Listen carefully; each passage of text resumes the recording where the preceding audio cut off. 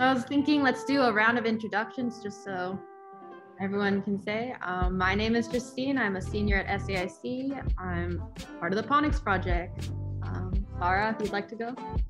Yeah, I'm Sarah Neurabash. I'm actually graduate student at um, Art and Technology MFA students. And yeah, I'm a team member in PON project. And Savannah? Um, yeah, and I'm Savannah. I am also a team member in the Ponic project. I am a junior at SAIC and um, uh, yeah. and Andy, if you'd like to introduce yourself. Yeah, hi. I'm I'm so excited to be talking with you, Linda. Uh, I'm a, a, professor here in art and technology. I'm the, the instructor for synthetic futures and pretty much just the coach for all the teams for uh, this course. And so I'm just I'm only going to be on for a little bit of today's thing. I just wanted to just come in, introduce myself, and thank you so much for helping helping one of my teams out on this. So I, I appreciate it so much.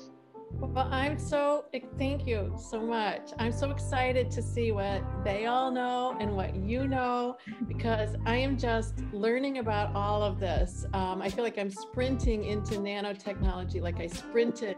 I went into, I got the department's first computers and I did everything by hand. And then all of a sudden I was like, oh, this is really interesting.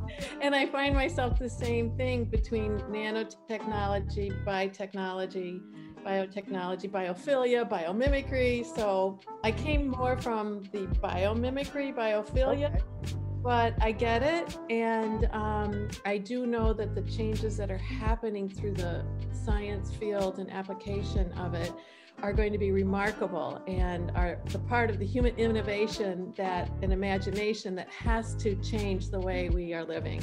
So I'm all for it. yeah, amazing. Shall we start? Yeah. Um, okay. Mara, if you'd like to pose the first question. Yeah, so well, basically, uh, one of the main reasons that actually we are here and uh, just pose this um, interview and questions is about because we uh, would love insight on um, your Great Lakes water park and eco cruises on the river and on Lake Michigan that inspires really the connection to a deeper understanding of our relationship to our environment.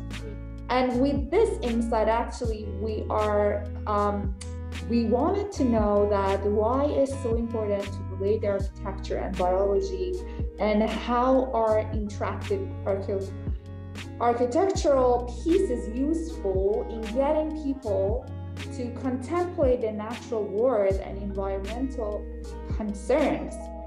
Why is a physical object or build a structure such as effective way um, um, to introduce complex concepts like, uh, for example, nutrition, cycling, and circular systems. Yeah. So, if you can just explain a little bit about that, considering your Great Lakes to Water Park and eco cruises on the river um, and Lake Michigan, we really appreciate. Could, wonderful. Could I just show a few things off and on on my screen? Yes. Absolutely. Permitted? Okay, because yes. it might help me. Um, oops, wait a second. I have to get at the beginning of it though. Um, well, I could start with this one and then I'll stop and get back to the beginning. So, and Andy probably knows more about this than I do, but scientists, for the first time, scientists have studied the atmosphere, they have studied the biosphere, they have studied the lithosphere, the geosphere, and the hydrosphere, the five main spheres that constitute humans' existence on Earth. And now they're realizing that these spheres do not interact uh, asynchronously, that they are constantly in motion with each other. And it's such a beautiful thing because if you just look at the sky in the morning or the dew in the grass or the you know moonlight you get this feeling that it's all moving together and you understand it innately as a human being but we haven't really taken that understanding and applied it comprehensively across our world. So that was um, this was my ending slide, but I'm going to stop sharing for a minute and go back and because I want to just take you into this um, a little slower, but it'll go fast. Okay, I promise you. And um, so let's do this. Share the screen. And I wasn't going to do this, but then I just decided I would. okay. and so, okay. So basically, um, you all know that we live in um, nature's world and we have designed our world in it, right? Yes. And so those are the two worlds. And it wasn't till recently, uh, it, early on, we understood nature because it is how we uh, survived and learned everything. And as humans evolved, they became more sophisticated, maybe, and started inventing a lot of other things without understanding the cyclical nature of it. And so we realize now, everyone, that our world is finite, that we cannot keep holding everyone on there and bring um, quality of life to everyone, fresh water, jobs, you know, gender equality, everything, unless we make some changes. And my students often make those maps where you can take the world and you can put in some data and it'll show you like who makes the most toys. And you know, there'll be some countries this huge and some like this. So they can put in who is using the, the energy in the world, who has the biggest carbon footprint in the world, who is doing the most forest deforestation. And so we have this way of seeing the world and understanding it better by what we are visualizing.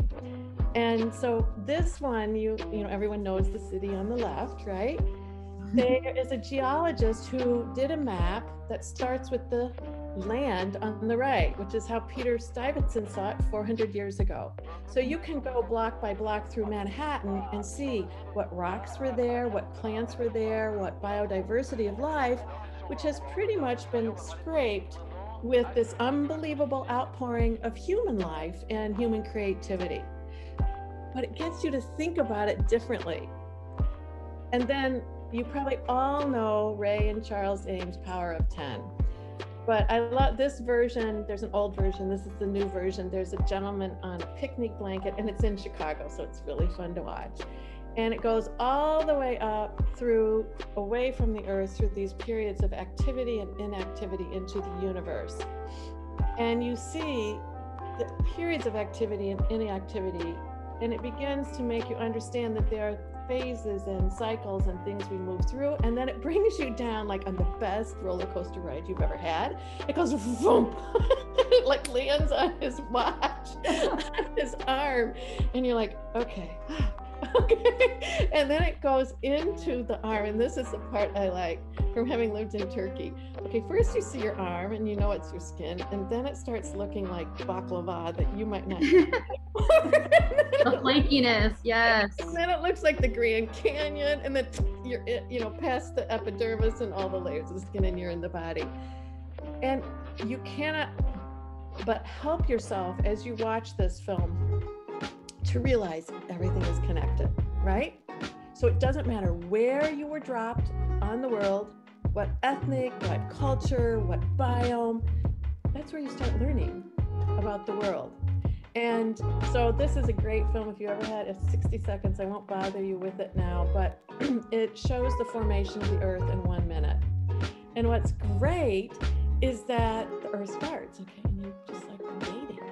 Okay and then things come out and then there's this period from like 10 seconds rocks come. Okay they're the oldest known living things on the earth and from that point on and normally i have a rock at my desk but i moved them to another desk i look at that rock and i say you're really old. So then i don't feel so old. Anyway, i like to collect them and they become different people but then there's this really quiet period all the way to 40 seconds, and then single cell and multiple cell organisms, and then it's kind of quiet again. And so here's the clock. We like people to actually do the clock and then figure out, see this big quiet time, and then they have to take all this stuff down here and put it in the time shell. So that's the 4.5 billion years of nature. And as you know, humans have only been, they come in like the last um, quarter of the sec last second. And you're like, and anyway, so we can learn from it. And I'm not going to show you much more, but I give a lecture about looking down, looking out, and looking up. And after I gave that lecture, I spend a lot of my days looking down, looking out, and looking up, and kind of being fascinated by things that I did not see before. I mean, I've squished in mud and sifted my toes in the sand and sat on a rock and watched the wind change the sand dunes, but that's when I started looking at these rocks. So these are from my backyard, and I love them. And then I love them when the water's on them. And I ask them, like, where did you come from? You know, Mr. Green, where did you come from? and then because the internet's available, there's this, I think he was a dentist who started taking um, microscopic pictures of sand. You see, these are grains of sand. Every grain of sand is different and there are more stars in the sky than there are grains of sand on our earth. So this starts to build this idea of uniqueness that all of you are unique, all of us are unique. Every bug out there and every road they put in the highway of the bark is unique. And that's pretty special. Mm. So, okay, that's all I was saying. So, your thumbprint and you have the DNA of a tree in it. And that's still just is mind-boggling to me. So I, this is where we get into what you're doing now, biotechnology, but I'm gonna stop sharing my screen for a minute, okay? So we can just talk. So anyway, I find that journey absolutely amazing. And you've entered it, you've entered it. You somehow got on that track. And once you're on it, you can't leave it. Much to explore. Andy, wow. how did you get on your your track? Um, you know, I don't know. A lot of happy accidents. Uh, but I think I got fascinated with. I have so many. I'm riddled with different genetic diseases, and I'm carrier for a bunch of things. And then you find out more, and I think finding out about how much is inherent in us and how we all work, it becomes fascinating. I think what's strange is that everyone who I've talked to who is excited about genetics or mm-hmm. uh, concepts of biology, it's different things that once you learn that, it's you have to open your eyes to something else, and then the other thing is the catalyst for something more. And so, I started bird watching, and to think that in uh, developmental biology, the same basic tools go to make all of the details of a bird's leg.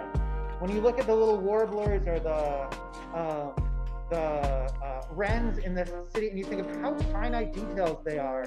Yes, it's beautiful. Yeah, and it's just to think that there are blood vessels in each of those tiny little legs, and there's skin cells, and there's immune systems, and it's just the intricacy of everything working together is just so fascinating, and we don't get it. And I love not knowing things. Mm-hmm. And I, then not taking it for granted, like because you don't know it, you go, well, I'd like to know it. I loved when you were talking about looking down and looking up, just because tomorrow I'm supposed to meet with my parents. We're going down to Mazon Creek, uh, mm-hmm. the big fossil bed, and we're gonna go. My mom got a bunch of mason hammers. We're going looking. Oh, so great! I, am gonna be looking down all day tomorrow. So oh, yeah, to show that other people are doing that. Yeah, and send a picture of it. And um, Will do. Okay, all right. So, and then how about did all of you, Savannah, Sarah, and Justine, how did you get into biothinking? Um, do, do you yeah, for Savannah, yeah. Yeah. Um, I originally was doing painting and sculpture, and I was um, really um, interested in climate change, um, mm. activism.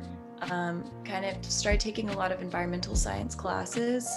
Um, I somehow found myself in bio art. It just kind of like presented itself in front of me. Um, I've been fascinated with it ever since. I, like you said, it's like there's no really going back once you kind of get here. I feel like it's it's um I um I don't know. I never really would have uh like I never really considered myself like uh, very STEM, very like science, technology based, and then it's like since I've been here, it's um, it's it's been great. Yeah. It's so great. Like people don't realize that scientists aren't like uber smart.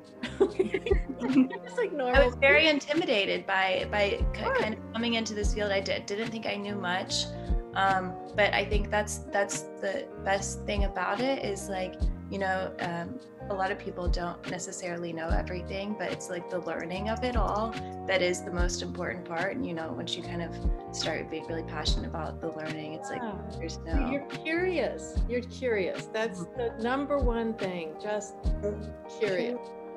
Yeah.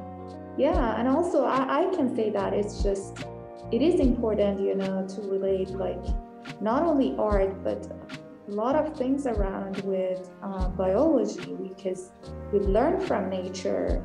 And my main reason is just I love, my goal is to be in art as a facilitator to kind of in, uh, just only uh, with kind of like personal innovation that I have. I um, sit down and enjoy what the nature going to do with my art. Just like and that's part is all the accident happens all the design that i'm doing also i get inspired from the nature. It's just like back and forth um, between the nature and humans and art and yeah so Mm, it's yeah, so I definitely relate to this like back and forth relationship with it. Like it inspires me to keep going. I think it mm-hmm. inspires all, all of us to keep going and then yeah ideas and we just bounce back. It's it's amazing. yeah. It's so interesting that you brought up that Powers of 10 video. That was like one of the first things I saw that kind of led me actually into my journey here at SAIC in the science department. I took a nuclear physics class with Professor Catherine Schaefer, and she did her doctorate on neutrinos, which are these really tiny particles that just pass through you all the time. Yeah. I was just inspired that this world that we can't see, as well as also what we can't visualize on the small and the large, and mm-hmm. covering from there. Yeah yeah that i i'm fascinated by scale. I mean i don't know if sarah told you but i am an architect too so i actually do make buildings that people inhabit. Um, or not i don't make them i design them with them and then they are built. And um, with architecture to me it's never linear. And i always had a hard time with the science um, hypothesis and the you know variables because in the end, there is no architecture doesn't begin from this point. It can begin from any point. And I so that's how I think about everything. And I think of science like that. And I think science is like that. I think they set up this scientific method to try to establish a baseline, perhaps, to compare results. And I get that. anyway, I don't want to be a critique of the scientific method, but I think that's. I, I wanted to just jump in and agree with you that, like, I think the scientific method is always presented as this linear flow that you start here and you end, and that's not how most scientists deal with it because you're always gaining new information and you're constantly adjusting your hypothesis. And there might be experiments where you're locked in testing one thing, but mm-hmm. while you're doing that research, things are shifting, things are constantly ex- you're exploring new grounds, and so I I really think that the fact that so many scientists have sold this very linear path, we've done ourselves a disservice. Yeah, or they teach it in school as such. Yeah. And I granted it's to expand from divert to convergent and divergent thinking so that you learn from multiple approaches and you make a more informed decision. I get that. But the way they teach it, I think is okay. So yeah, you actually just talked about a few th- um, your architecture and education as two are two like topics we really wanted to like um, okay talk, talk to you about. And um, one of the questions we had was like, um, how do you think that interactive architectural pieces um, are useful in like getting people to um, contemplate the natural world environmental concerns, educate people? Do you think they're like, yeah? What what are, what are your thoughts on that? Um, okay, I think they are far more advanced by artists than by most architects. There are some exceptions. Um, Jenny Sabin, uh, who does interactive design pieces that are amazing, and um, Neri Oxman, who does also biomimetic things.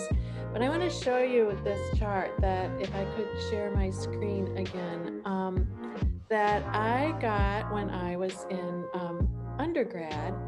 And I've always used it. And basically, it was made by Malcolm Wells, who built underground homes.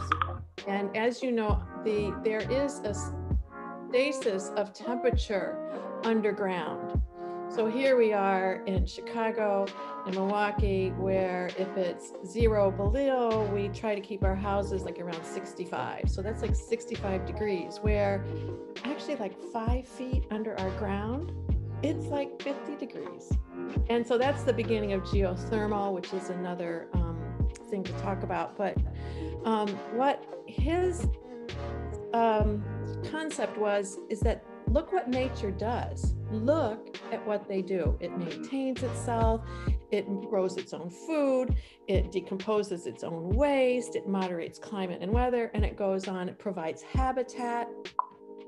And then um, this is what the built environment does. it was the first time, I mean, I was just becoming in love with architecture, and all of a sudden I was like, I was a little like, like saddened. And yet, I have to say, what makes me sad today is that was 30 years ago. And I don't see enough, I don't see 30 years of progress, all right, in the way architecture is taught, the way it's not taught in K 12 as a subject every child and every person should be involved with. And um, and I also then became aware that environmental education is not taught in, you know, consistently um, as a standardized learning. We do have national standards established in 2009. And I happen to be in Wisconsin where Gaylord Nelson, who started Earth Day 50 years ago. So we had it pretty, our children growing up here had it pretty good because it was the land of Earth Day. But the thing is, we have so far to go. And it's not that we're stupid. okay. We're innovative, but we just have to collaborate and work together and learn from each other. Okay. So true. Thank you. So, yeah, I think that's What great points. so that was the beginning of a film. I make students in my class make a film called Human or Humans and nature. Mm. They go out and they read this poem, and they just take it. They have one hour to do it. And they just have to walk around the loop, and they have to shoot this film. Mm, wow. So if we have time, we can watch it. We can watch it. It's short, but um, it get it talks about water and air. That'd be awesome. Yeah. Sure we can watch it at the end if you're done or whatever. Yeah, definitely. Oh, no problem. Sorry. And link it on the site as well. That'd be amazing. I have to ask the students' permission. oh, okay. uh, in a little bit, because I have a meeting at five that I have to go to another student. But I'm so curious when you bring up that you really wish that uh, students in K through 12 were learning about architecture, just because you know, I have been saying for a couple years, I really wish that more scientists took design. And I'm so glad that one of the reasons I'm here is I wish that there were more designers and artists taking more science courses because yes. I think that there could be really good cross contamination. What do you think the power for people in other fields, including a lot of scientists who are going to be seeing this at the Biodesign Challenge, what's the power in them learning about architecture from an early stage in their worldview? Oh my gosh. It's because architecture is materialized ideas that build relationships between life as we know it, humans, and life as we inherited in nature. I can't think of anything that is more comprehensive in its relationship both ways. And there is no reason we can't use a method to study the success of our health equal to the success of our environment health of our environment. That's the big key thing that in fact the two are the same thing. And we've been not treating it like that. We've been oh we have hospitals. We have drugstores. Okay. No no. We have to redefine health. Yeah. and get back to some basics. And I think finally, last century we saw this uh, nature deficit disorder that Richard Louv talks about. Granted, we had the TV, then we got the computer, but now people are realizing I'm alive.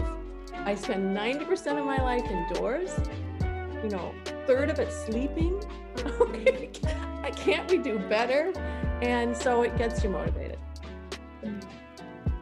I, yeah, thanks for that answer. I was listening to a podcast on my way into this morning, and it was talking about environmental concerns. And they were talking about how um, uh, people with gas stoves have a 25% increase in the risk of asthma for their children if you have a gas stove in your house. And that's partially how we design our space. That's partially just knowing the gases and airs in our environment. And so I can see how integral that is as soon as it's pointed out that your space is your home environment. Mhm.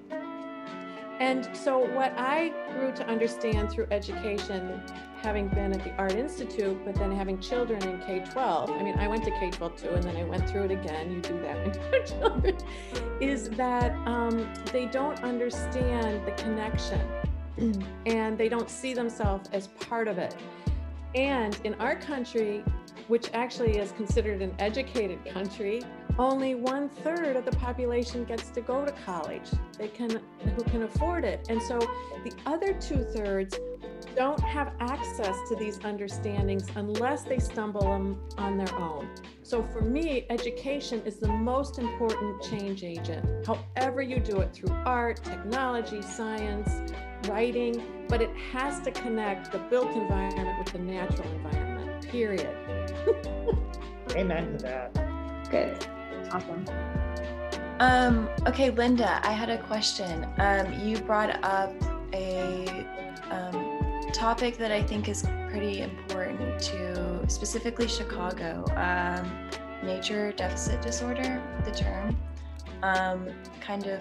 So I was wondering, like, do you think that um, in an urban setting where people have limited access to nature, um, like Chicago, like, do you think that incorporating nature into architecture um, having things like indoor gardens could possibly help um, provide some kind some some relief for communities that may be experiencing um, nature deficit disorder absolutely. I think cities um, were built on capitalistic kind of um, development, and it was before the people, planet, um, profit triangle. Okay, and now we realize it's more complex. And in fact, cities have to restore a large part of their natural indigenous biome to the landscape. So, and I will talk about architecture, but I'm going to start with about the land first because that's always where I start. and um, the EU, in their Green Cities Plan by 2030 and their initiative for carbon reduction, is to have 40% green space in cities. Now, if you look at Chicago, we do have an emerald string of parks. Um, that was laid out pretty early on, but large neighborhoods are completely void of any porous. Porous means the water and can be soaked up by the earth and filtered before it goes back to the river and the, the lake. Um, but there has been progress there because in 2006, um, some Art Institute students and I did the Green Roof website for the city of Chicago. And there was only one green roof in the city, and it was on City Hall. And it was a test study. Was the same roof. It was black with the air conditioners on it, and they made half of it a part of a garden, and the other half stayed the same. And so when it was 90 degrees in Chicago, they would test both sides. The black part would be 110, and the part with the plants would be about 70 degrees with a light breeze because all those little leaves capture and shade, and bugs came and birds came. And when you take a picture up there, it's like the Acropolis in the middle of Chicago. The good news is there's now 5,000 green roofs in the city. Oh, wow. And so when we go on the river, as you know, the boat tours, there are 16 of them, boat companies, and they, um, non COVID, do like six to eight tours a day, all of that. They talk about the architecture. I'm an architect, I love architecture, but there are other things to talk about now. so I talk about the green roofs. And so we had to take a poster. We were going to get an LED screen to show the green roofs, but we take a poster and we talk about the benefits of green roofs and what they're doing. London hopes to be the first city that is 40% uh, green. They have quite large parks. If you know or you go to Google Earth, you can see them but they're reforesting a large part of their city. And so Mayor, the late Mayor Daley did a lot of reforestation, but we have a lot of work to do. And it takes organizations like Openlands working with whomever the mayor is, okay, and working with private and public partnership to make it happen. So whenever you see a development just knock on the door to the contractor or the architect and say, You've taken this ground away. Where are you putting water filtering surfaces to replace what you've taken away? And then there, I could probably make up a bunch of other good questions to ask them, like, will you produce your own food for the people here? And will you take care of your own waste? And you can just look at the old chart I showed you. yeah, interesting. Very interesting. Yeah, so, thank you. Yeah, and you've been, I hope, to Lincoln Park, the botanical gardens. Yeah. Beautiful. Really, when you go in the winter, it's like you can breathe again. It's incredible. Incredible. I know. Yes. Awesome. Um, and that kind of goes into like my questions that I had for you with um, how did you garner such a wide response and like the outreach that you've had has been so incredible your statistics with next.cc like so many colleges so global um, that's so amazing um, for people who just want to get newly involved and have just you know gotten that little biology bug bit um, how do you inspire those people or how do you get them into your projects um, well i've been lucky to be able to teach and work with students at the Art Institute. And so I think since probably around 2007, the eco design class, and it started more as like defining what sustainability meant. And that's been fascinating enough because what is sustainable has changed. Mm-hmm. It's constantly evolving and redefining itself. But we used to teach like um, green materials, green streets, green buildings, green clothes. You know, we would go through everything that humans kind of made. And it was before we built the third next site, which is the one that you can access now. And you'll see that there are nine scales there. And they go from nano to pattern, object, space, architecture, neighborhood, urban, region, and world. And so we would go through all those levels and talk about the five different spheres and human production and human impact. And once people have those ideas, they really understand things different. They will make different decisions. And uh, I know one of our thesis students did a thesis on genealogy and did the most intensive research on the water and energy needed to make jeans. And then I just learned like something popped up on the computer about the weather jeans, how much more energy, and then that flakes off those little fibers that then fish eat. And it's, we're getting smarter, but we have to spread the news in a, a way that is not doom and gloom. So actually this year in eco design, and I'm sorry, we should have some of those students there. We had a debate. Nat, National Geographic had um, a double feature, and in it was 2070, we saved the world. And the other one was 2070, we lost the world. It was such a great debate. Like, first, people were uncomfortable, and I go, Well, you have to pick a side and you have to present it. I remember seeing like a visual of that. I think it was their um, magazine that they released before that was like double sided. I loved that. Yeah. And we then, I mean, because we're at the Art Institute, we critiqued some of the arguments, but we had a really great discussion. And in the end, I said, well, okay, now that we voted and winning the planet won. And I said, well, what was your biggest problem with we lost the planet? And everyone said, well, that's just stupid. We have to be smarter than that. We have to come together and make better decisions and make better choices. So it was pretty clear. It was great. Mm-hmm. And I actually have on my little, I have a few more things to share with you if you have a second, but I had three reports that you should look at um, to further your understanding as you go through this. Yeah, if you'd like to share your screen. Okay. Yeah, let's see if I can find it again. Okay. Here we go. Okay, it'll go fast, I promise. Okay, so real quickly, this is where our health and well being is the well being of nature and the environment. And we actually start with like third graders now, where they draw a building like their own body. So they understand that a building is a living thing and is not, you know, just something they inhabit. and um, then like this is middle school they're starting to learn the systems of the body so they can be more articulate and then this is high school where they're starting to see the bodies uh, the systems of the body and the systems of the building. To begin to help think how can these um, heal themselves? How can they evolve and keep healthy? And where this leads us to i don't know if you've heard of the water food energy nexus I mean, your project is right there.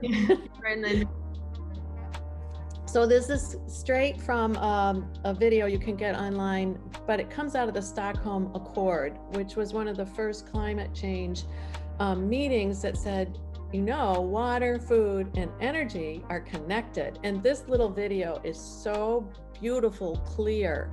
And you watch this once and you're like, okay, I get it. So anyway, we're just about to publish these journals for K-12 that they can start seeing the interconnections. But these are the the um, things you you need to look at Oxfam if you haven't, which is the safe and just space for humanity. And so it will look at the breach of the atmosphere and what's you know climate change and biodiversity loss and phosphate and nitrogen cycles are, are beyond what we can hold. And then it will also tell you the progress for the inside, which is giving everyone on earth the ability to have a safe and productive life.